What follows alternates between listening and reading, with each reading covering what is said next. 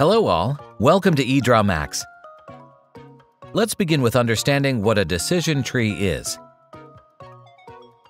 A decision tree is a diagram used by decision makers to determine the action process or display statistical probability. Now let's see why we should make a decision tree. Decision trees are flexible. They effectively communicate complex processes. They're focused on probability and data, not emotions and bias. They clarify choices, risks, objectives, and gains. And decision trees enable you to flesh out your ideas fully before spending valuable time and resources. Now let's look at the basic elements of a decision tree. Decision trees usually consist of three different elements. The first one is a root node. This is a top-level node that represents the ultimate objective or big decision you're trying to make. The second element is the branches, which stem from the root and represent the different options or courses of action that are available when making a particular decision. They are most commonly indicated with an arrow line and often include associated costs as well as the likelihood to occur. There are typically two types of leaf nodes square leaf nodes, which indicate another decision to be made, and circle leaf nodes, which indicate a chance event or unknown outcome. Now let's learn about different decision tree symbols. The first symbol is a decision node normally represented by a square to display a decision to be made.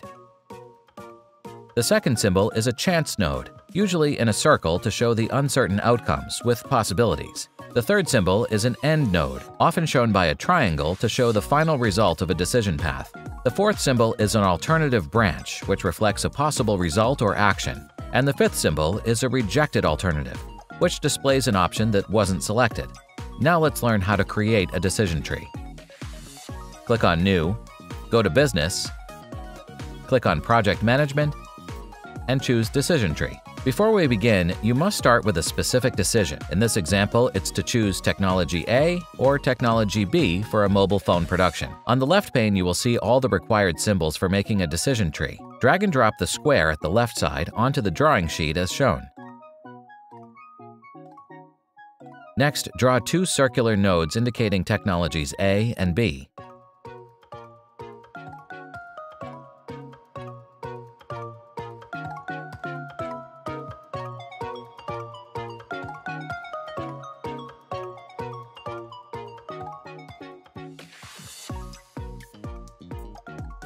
Draw branches from the two circular nodes to depict the outcome of high or low profit as shown.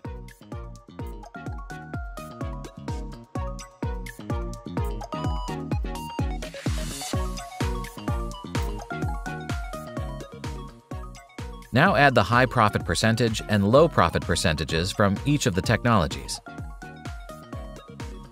Let's add the triangles to signify the endpoints. The predicted outcome of a high profit and lower profit after using technology A is $400,000 and $200,000, and with technology B, it's $300,000 and $150,000 respectively.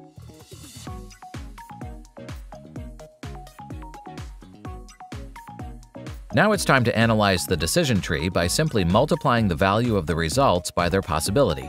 Then sum up the total value of each node from right to left on your decision tree diagram to compare and make the final decision.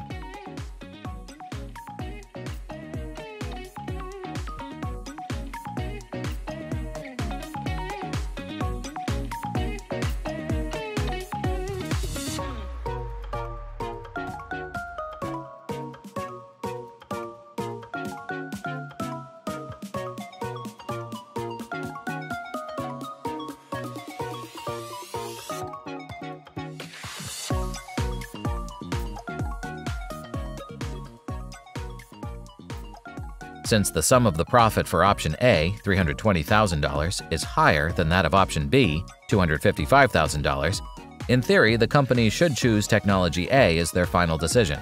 Let's add color to the diagram to make it more visually appealing.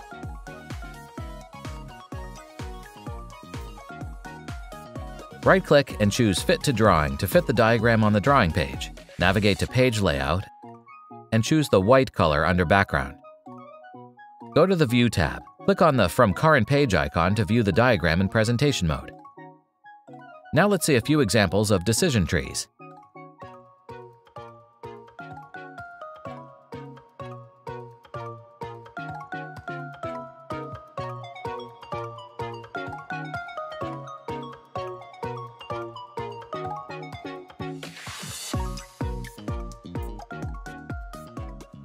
Thanks for watching, and don't forget to subscribe to our channel for more EdrawMax videos. Please find the link in the description below to try EdrawMax online or to download the software.